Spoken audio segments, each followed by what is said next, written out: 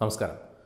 സംസ്ഥാനത്തെ വിവരാവകാശ കമ്മീഷന്റെ സി പി എം അംഗത്തിന്റെ ഒഴിവിലേക്ക് സർക്കാർ ഇപ്പോൾ സി പി എം നോമിനിയായി നിയമിച്ചിരിക്കുന്നത് മുസ്ലിം ലീഗിലെ ഒരു മന്ത്രിയുടെ പേഴ്സണൽ സ്റ്റാഫ് അംഗമായിരുന്ന ഉദ്യോഗസ്ഥനെയാണെന്നാണ് ഇപ്പോൾ പുറത്തുവരുന്ന സൂചനകൾ നമുക്ക് നൽകുന്നത്. രണ്ട് ലക്ഷത്തിലേറെ ശമ്പളമുള്ള തസ്തികയിലേക്കാണ് ഇപ്പോൾ ഇങ്ങനെ ഒരു നിയമനം നടന്നിരിക്കുന്നത്.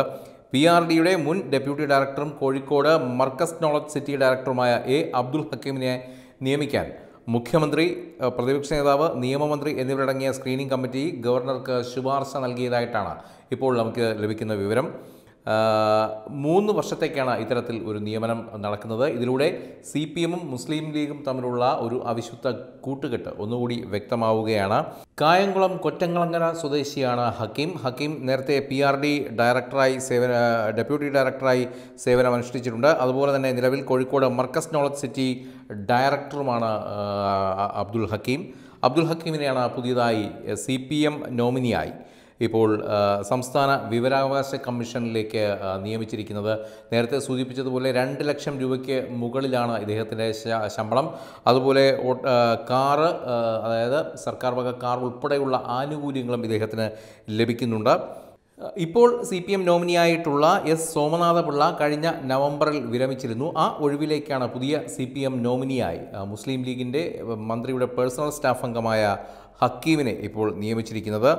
മർക്കസ് മേധാവി കാന്തപുരം അബൂബക്കർ മുസ്ലിയാരുടെ സമ്മർദ്ദത്തെ തുടർന്നാണ് ഇത്തരത്തിൽ ഒരു നടപടി എന്നാണ് ഇപ്പോൾ നമുക്ക് അറിയാൻ കഴിയുന്നത്. കുറേ കാലമായി പിണറായി സർക്കാരിൽ നിർണായക സ്വാധീനം ചെലുത്താൻ കാന്തപുരത്തിന് കഴിഞ്ഞിരുന്നു. ഈ ഈ ഒരു നിർണായകമായ കാന്തപുരത്തിന്റെ ഇടപെടൽ തന്നെയാണ് ഇത്തരത്തിൽ സി പി എം നോമിനിയായി ഹക്കീമിനെ ഇപ്പോൾ വിവരാവകാശ കമ്മീഷന്റെ നിർണായക സ്ഥാനത്തേക്ക് എത്തിക്കുന്നത് എന്നാണ് ഇപ്പോൾ നമുക്ക് അറിയാൻ കഴിയുന്നത്.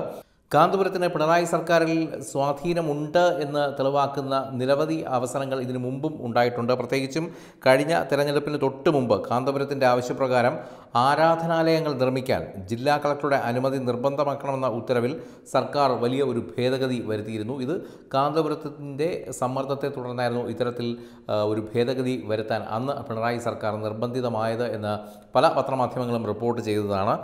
ഇപ്പോൾ വീണ്ടും ഒന്നുകൂടി കാന്തപുരത്തിന്റെ ഈ സി പി എം സർക്കാരിന്റെ മുകളിലുള്ള അദ്ദേഹത്തിന്റെ സമ്മർദ്ദം എത്രത്തോളമാണ് എന്ന് വെളിവാക്കുന്ന തരത്തിലുള്ളതാണ് ഈ പുതിയ നിയമനവും വെളിവാക്കുന്നത്. അതുപോലെ മലപ്പുറത്തും കോഴിക്കോട്ടും പള്ളികൾ നിർമ്മിക്കാൻ കാന്തപുരം ശ്രമിച്ചപ്പോൾ പ്രാദേശികമായ എതിർപ്പ് കാരണം അന്ന് കളക്ടർമാർ അനുമതി നൽകിയിരുന്നില്ല. ഇത് മറികടക്കാനാണ് സർക്കാരിനെ സമീപിച്ച് കാന്തപുരം നിയമം തന്നെ അന്ന് മാറ്റി എഴുതിയത് മർക്കസിന്റെ ഡയറക്ടർ എന്ന നിലയിലാണ് ഹക്കീമിന് ഇപ്പോൾ ഉന്നത പദവിയിൽ നിയമനം നൽകിയിരിക്കുന്നത്. മുൻ ചീഫ് സെക്രട്ടറി വിശ്വാസ് മേത്തയാണ് മുഖ്യ വിവരാവകാശ കമ്മീഷണറായി ഇപ്പോൾ ഉള്ളത്. വിശ്വാസ് മേത്തയെ നിയമിക്കുന്നതിൽ വിയോജിപ്പ് അറിയിച്ച അന്നത്തെ പ്രതിപക്ഷ നേതാവ് രമേശ് ചെന്നിത്തല മുഖ്യമന്ത്രിക്കും ഗവർണർക്കും കത്ത് നൽകിയിരുന്നു. എന്നാൽ വിയോജിപ്പൊന്നും രേഖപ്പെടുത്താതെ തന്നെ മിനിറ്റ്സിൽ ഒപ്പിടാൻ ചെന്നിത്തല തയ്യാറായിട്ടില്ല. ഐക്യ ഐക്യകണ്ഠേനയാണ് തെരഞ്ഞെടുപ്പ് നടത്തിയെന്നാണ് ഇപ്പോൾ മിനിറ്റ്സിലുള്ളത്. യോഗം ശരിയായ ദിശയിൽ നടന്നിട്ടില്ലെന്നും നെറ്റ്വർക്കിലെ സാങ്കേതിക തടസ്സം കാരണം തനിക്ക് തന്റെ അഭിപ്രായം അറിയിക്കാനില്ലെന്നുമായിരുന്നു അദ്ദേഹത്തിന്റെ നിലപാട്. യോഗത്തിന്റെ മിനിറ്റ്സിൽ വിയോജനക്കുറിപ്പ് ശരിയായ രീതിയിൽ രേഖപ്പെടുത്തണമെന്നും ചെന്നിത്തല അന്ന് ആവശ്യപ്പെട്ടിരുന്നു. അതുപോലെ തന്നെ വിശ്വാസ് മേത്തയെ നിയമിക്കുന്നതിനെതിരായ ചില പരാതികൾ ഗവർണർക്ക് മുന്നിലും എത്തിയിരുന്നെങ്കിലും സർക്കാരിന്റെ ശുപാർശ അംഗീകരിക്കുകയല്ലാതെ ഗവർണർക്ക് മറ്റൊരു വഴിയും അന്ന് ഇല്ലായിരുന്നു. ജലവിഭവ വകുപ്പിലെ ചില പദ്ധതികൾ അന്താരാഷ്ട്ര കൺസൾട്ടൻസികൾക്ക് ക്രമാനുരഹിതമായി അനുവദിച്ചതുമായി ബന്ധപ്പെട്ട് വിശ്വാസ് മേത്തയ്ക്കെതിരെ വിജിലൻസ് ആന്റി കറപ്ഷൻ ബ്യൂറോയ്ക്ക് താൻ പരാതി നൽകിയിട്ടുണ്ടെന്നും കുറ്റമറ്റ ആത്മാർത്ഥതയും ഒരിക്കലും തെറ്റുപറ്റാത്ത സ്വഭാവമുള്ള വ്യക്തിയെ മാത്രമേ ഇത്രയും സുപ്രധാന സ്ഥാനത്തേക്ക് നിയമിക്കാൻ കഴിയുകയുള്ളൂ എന്നുമാണ് ചെന്നിത്തലയുടെ കത്തിന്റെ ഉള്ളടക്കമായി അന്ന് ഉണ്ടായിരുന്നത്. ഇത്തവണ ഹക്കീമിന്റെ നിയമനത്തെ പക്ഷേ പ്രതിപക്ഷം യാതൊരു രീതിയിലും എതിർത്തില്ല എന്ന് മാത്രമല്ല ആ മിനിറ്റ്സിൽ ഒപ്പിട ഒപ്പിട്ട് അത് പാസ്സാക്കുകയും ചെയ്തിരിക്കുന്നു. അതുതന്നെയാണ് ഈ നിയമനം എത്രത്തോളം സമ്മർദ്ദത്തിന്റെ പുറത്തുള്ള നിയമനമാണ് എന്ന് ഇപ്പോൾ അടിവരയിട്ട് പറയാൻ കഴിയുന്നത്. അതുമാത്രമല്ല ഈ നിലവിൽ ഈ നിയമിക്കപ്പെട്ട വ്യക്തിയെക്കുറിച്ച് നേരത്തെയും ചില പരാതികളുണ്ട്. ഇദ്ദേഹം പി ആർ ഡി വകുപ്പിൽ ഉണ്ടായിരുന്നപ്പോൾ ചില സ്ത്രീ വിഷയവുമായി ബന്ധപ്പെട്ട ചില കേസുകളും ഇദ്ദേഹത്തിനെതിരെ ഉണ്ടായിരുന്നതായി ചില സ്ഥിരീകരിക്കാത്ത റിപ്പോർട്ടുകൾ. അതിപ്പോഴും പല ഭാഗത്തും സെക്രട്ടേറിയറ്റിന്റെ പല ഭാഗങ്ങളിലും പൊടിപ്പും തൊങ്കലും വെച്ചുള്ള കഥകളായി പോലും പ്രചരിക്കുന്നുണ്ട്. എന്തായാലും ഇതിലൊക്കെ ചില സത്യങ്ങൾ ഉണ്ട് എന്നുള്ളതാണ് വാസ്തവം. വിവരാവകാശ കമ്മീഷനുള്ളത് ഹൈക്കോടതി ജില്ലാ റാങ്ക് ആയിരുന്നെങ്കിലും കേന്ദ്ര ഭേദഗതി വന്നതോടെ തസ്തികയുടെ റാങ്ക് അല്പം താഴ്ത്തിയിട്ടുണ്ട്.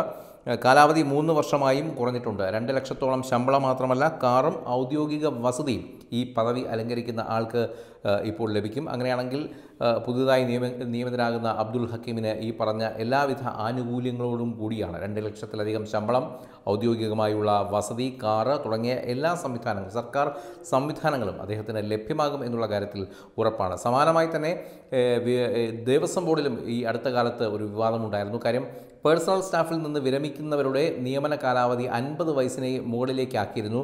അതും ഏതാണ്ട് ഇതുപോലെ തന്നെ ഏതോ ഒരു ഉന്നത വ്യക്തിയെ സുപ്രധാന സ്ഥാനത്തേക്ക് നിയമിക്കാൻ ഉള്ള എല്ലാ പദ്ധതികളും നടപ്പിലാക്കിയതിന് ശേഷം ആയിരിക്കണം ഇത്തരത്തിലൊരു ഉത്തരവ് ഭേദഗതി ചെയ്തുകൊണ്ട് പുറത്തിറക്കിയത്. എന്തായാലും സർക്കാരിന്റെ വഴിവട്ട നിയമനങ്ങൾ ഒന്നുകൂടി വ്യക്തമാക്കുകയാണ്. അതുമാത്രമല്ല ഈ- ഒരു വിഷയത്തിൽ ഒന്നുകൂടി അടിവരായിട്ട് പറയാൻ കഴിയുന്ന ഒരു കാര്യം മുസ്ലിം ലീഗിന് സി പിന് മേ സി പി എമ്മിന് മേൽ എത്രത്തോളം സ്വാധീനമാണുള്ളത് സമ്മർദ്ദം ചെലുത്താൻ കഴിയുന്നു. അതുമാത്രമല്ല ഇവരുടെ ഒരു അവിശുദ്ധ കൂട്ടുകെട്ട് കൂടി ഇപ്പോൾ പുറത്തു വരികയാണ് വെബ് ഡെസ്ക് തത്വമൈ.